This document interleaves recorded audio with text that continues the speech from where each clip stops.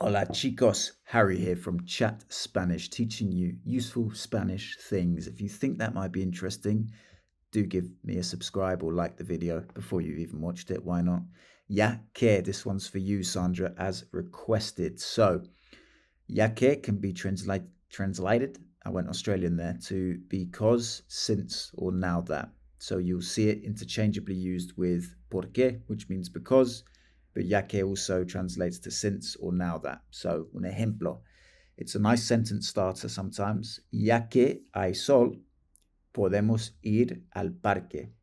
So that translates to since it's sunny, ya que, since, because, now that it's sunny, hay sol, we can go to the park.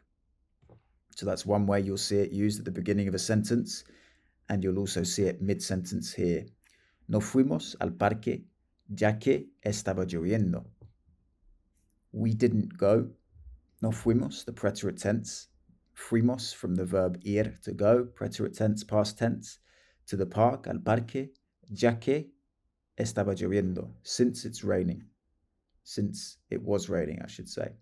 Um, since or because or now that. So you could say, no fuimos al parque porque estaba lloviendo. But here we say ya que so they're pretty much the same. Ya que, I would say, is a little bit more formal, but you can really impress your, your Spanish speaking friends with that. And then one final thing, chicos, ya que, I've also seen translate as to what for or what difference would it make.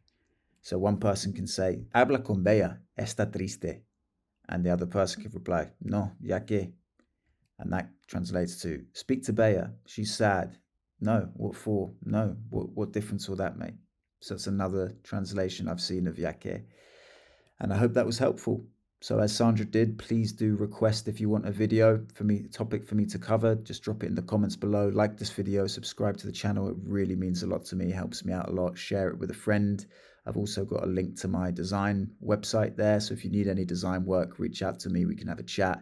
And I'm going to link a video to the phrase o sea which is very common in Spanish, and I explain it in the video attached below. So enjoy that. Enjoy the rest of your day, chicos. Hasta luego. Ciao.